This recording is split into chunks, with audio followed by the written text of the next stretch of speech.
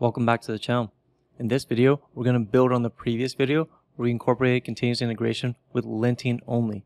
In this video, we're going to add testing with the PyTest package. Now you might want to ask, why would we want to incorporate testing in our continuous integration workflow? The reason being, it ensures existing functionality is not broken.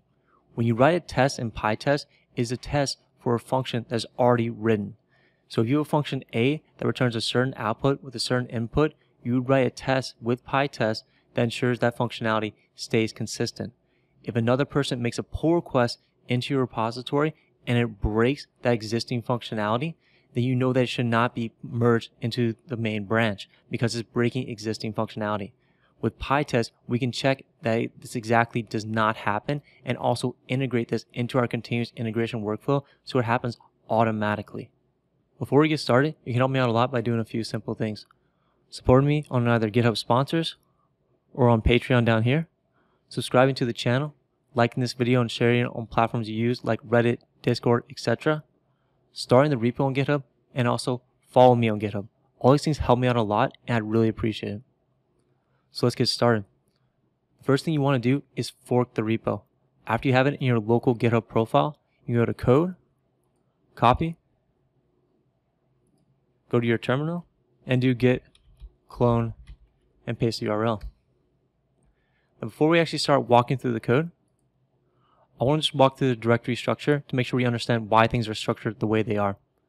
First of all, we have is the main.py. This is going to have a few functions that we're going to be testing. We also have this temp folder that is main2.py. Again, just a few files we're going to be testing. You might ask, why do I have a temp folder? Why don't I just have a main and main2 at the top? Is because I'm trying to simulate what real world is going to be like the most. In the real world, you're not going to have all files in the top level directory. You're going to have multiple subdirectories. So I'm trying to give you exposure to both of those. We also have this requirements.txt file. Why do we have this? We click into it. We have two imports, PyTest and MyPy. The requirements.txt is necessary because we're running a container image for our GitHub action workflow. This means that we have to install these requirements necessary to be able to run the testing inside of a container image for our GitHub action workflow. We're going to see this more in depth and in more explanation when we walk through the GitHub workflow file. We also have this test directory. With PyTest, what it's looking for is a directory called test or test with an S at the end. If it doesn't find this, it won't be able to run the PyTest. So you must specify it this way. If we click into it, we also have test underscore main.py. Every file must be prepended with test in the file name. This is what PyTest is looking for to know this is a file that must check for PyTest. And we also have the temp and test main2.py. Now you might be asking, why did I just put test main2.py right here? Why did I create the temp directory inside of the test directory as well? Well, it probably doesn't make sense for just two files. You could just include them right here. Well, let's say we're in a real world project. We might have 50 files. We might have 30 plus subdirectories. It makes a lot more sense to follow the subdirectory structure of the top level directory so it can make it easier to understand where files are located and what's being tested. So you should always follow the same directory structure of your repository inside your test directory. And we click into test main.py, we see test add and test descendants. You must prepend every test with the keyword test as well, just like you have to do with the file name and just like you have to do with the top level directory test. PyTest is very particular. Make sure you include the test in the top level directory name, the file name, and also the function name. And finally, we have this .github workflow file right here we're going to run the continuous integration, both for linting with Flake8, MyPy, and isort, and finally testing with PyTest. Alright, now that we have everything done, let's start actually walking through the code. I'm going to use Visual Studio Code. You can use whatever you want. Let's take a look at the first file. We have main.py in the top level directory. This file just has a few simple functions add, and two sentence. I'm not going to walk through the functionality because it's very basic and that's not the point of this video. We have this test main.py. Remember, you must prepend the file name with test. And we have two functions. Again, must prepend with test. The way we're testing is we're using assert statements. What this is doing is it's calling the main.add. We imported main up here. We're calling the main.add function, which is right here in the main.py. We're passing two inputs. So we're passing expected inputs and we're saying it must equal 7. The expected output. So we're asserting this statement must evaluate to true. If assert and this equals false, this will fail. So our PyTest will fail. And we do the same thing down here with test descendants. We pass in an input and we have an expected output. We assert that this must be true. If it's not, PyTest will fail. We go to main2.py in the temp folder. Again, we see two functions, sub and word count. And we see test main2.py in the test temp directory. And we see two functions again, test sub and test word count. Again, with expected input, expected output, and assert statements. We just put multiple assert statements, ensuring that all these must evaluate to true, otherwise the PyTest will fail. It's that simple to add testing to your repository. Obviously, if you have more complex functions, these tests might be a little more complex, but this is the bare bones of how you can do it and how easy it is to incorporate it. Alright, now let's move on to the requirements.txt file.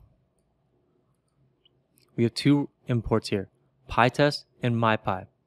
The GitHub action creates a container, which then installs Python inside that container, and then we must install the requirements inside of that container with Python already installed. Here being PyTest, which we need to run the test in Python, and also MyPy. Why are we installing MyPy? If we go to the main.py, we see that we have this right here. We're specifying the return type of the function. Python will actually fail and say this is an error unless you have MyPy installed. So that's why we must install MyPy here in the requirements.txt. And the final file we're going to walk through is the python app.yaml file. This is the continuous integration workflow file that is running automatically on the GitHub repo on push and pull requests. Now, before we walk through the code, you might think this is very daunting. I don't understand how all this works, and I'm not sure I can write this from scratch if I need to for my repositories. It's actually much simpler than you think it is. Let's go back to the GitHub repository. If you go to Actions right here, you go to New Workflow, you can scroll down and click Python application right here. This will create and test a Python application.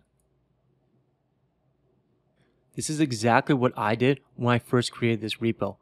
I went to the Actions tab, I clicked this workflow, it gave me boilerplate code that runs linting and runs PyTest. I clicked Start Commit, and I committed the file. If you commit the file, then you would have this file in the .github workflows folder and this file name.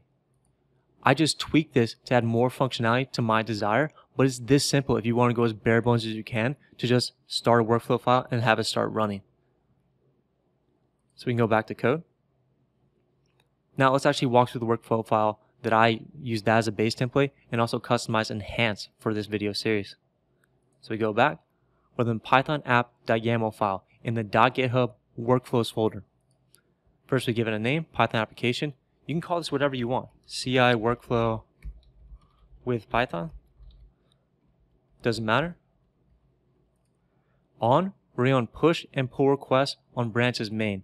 That means if we make a push request to main, or we make a pull request to main, then it will run the workflow. We also have this workflow dispatch, which allows us to manually run the workflow.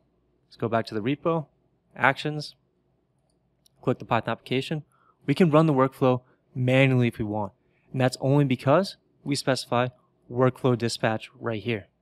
Going on, we have our jobs and we're running on Ubuntu latest. Like we said before, the GitHub action creates a container. It's using Ubuntu as the base image. If you're familiar with Docker, this will make a lot of sense. If you're not familiar with Docker, don't be too concerned. We have our steps. First, we check out the code. This uses a GitHub action called checkout that just checks out the code to run our actions on. We're setting up Python and installing it in the container. We're using version 3.9. Then we install the dependencies. Again, we have the PyTest and MyPy specified here in requirements.txt PyTest because we need it to run the PyTest, and MyPy because we need it because we specify the return types of functions. Here we're upgrading pip first, then we're installing Flake8 and PyTest, then we're checking if the requirements.txt file exists, then we install it. Now you might be asking, why do we have PyTest here and also in the requirements.txt? We have PyTest here because it was in the boilerplate code. I just kept it because it was in the boilerplate, but this is redundant. Going on, we now have the linting here, and we also have the committing and pushing isort changes. I went through all this in the previous video in very great depth. I'm not going to recover it here. If you're interested, refer to the previous video. And finally, we have the test with PyTest. we're checking if the test or test directory exists, then we'll run python-m pytest. Why is this important? Because if the test or test directory does not exist and we try to run python-m pytest, it will actually fail and give us an error. So if we're not trying to run tests on a repo, we don't want this part of the code to fail and cause issues with our CI workflow. That's why we have this if conditional first. And the dash in flag right here, I'm not going to cover in this video series, but if you're interested, you can Google very quickly and find out exactly why you use the dash in flag. All right, now let's actually run the GitHub workflow. So we go to main.py, we're going to introduce an intentional isort error. We're putting OS before math. This is an isort error. We're going to go to the terminal. We'll do git diff just to see our changes. There's our one change. Going do git add, git commit dash m, intentional isort error, and git push. We go back to the code, go to actions, we see it running, and we can click in.